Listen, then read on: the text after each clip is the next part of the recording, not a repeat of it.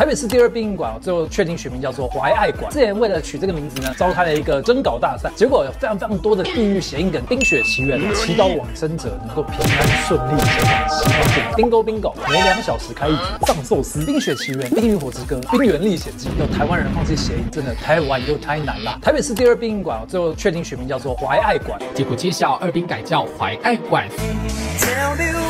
然后之前为了取这个名字呢，召开了一个征稿大赛，结果有非常非常多的地域谐音梗。那我去搜寻了原贴文哦，发现大家还有创作理念，就是《冰雪奇缘》哦，祈祷往生者能够平安顺利前往西方境，一切圆圆满满。再来调查兵团，哇，逝者只是去了墙外的世界探索，是人类的先锋，海的另外一端是自由。国宾饭店，哦，希望入住者有如宾至如归，睡得安详，这五星好评，宾客源源不绝。新兵日记哦，就投胎转世可以重新开始嘛，在 Bingo Bingo 每两小时开。还有一些相当实用的，像是斯乐冰啊、饮冰式茶几、健达缤纷乐跟藏寿司。好，只能说台湾人实在是太有梗了，连殡仪馆的命名哦都可以变成一场谐音大赛，好绝呀！那个夏道生妇产科诊所，夏道生。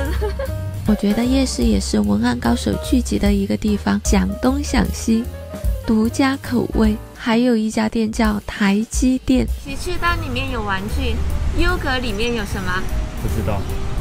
优格里面有包青天，为什么？你你看你看，这样我是在干嘛？台风优格包青天，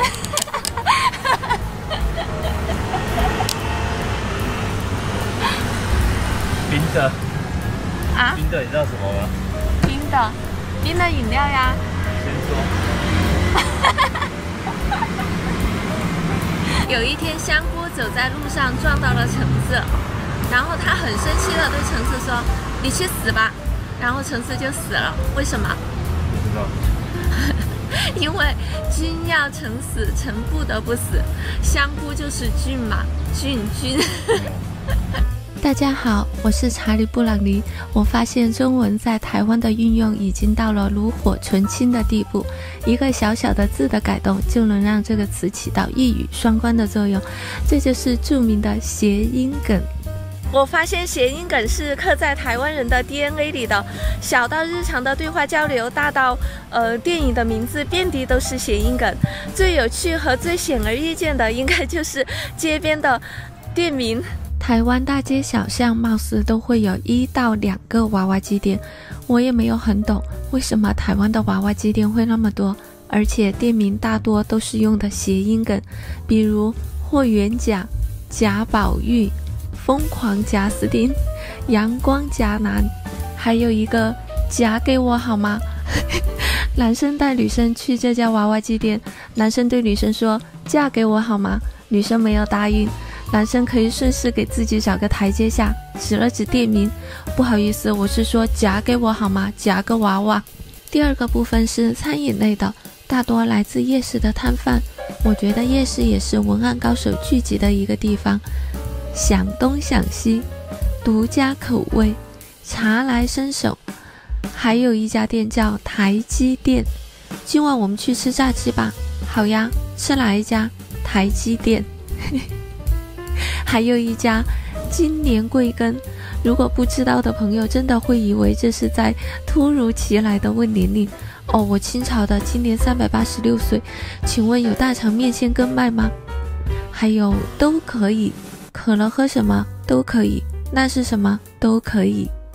还有一个最好笑的香奈儿，是人物那边一家卖鹅肉的，老板把台湾人不会发儿这个音也写出来了。在澎湖的时候，看到有一家彭于晏，记忆深刻。这次做视频的时候，就让澎湖的朋友帮忙拍一张，没想到他拍过来的是澎湖医院。第三个部分就是大楼名称，我想谐音梗竟然被玩得这么无处不在了。那大楼暗名有没有被善用？我一搜还真有，非常满意大楼，真心如意大楼，真幸福大楼。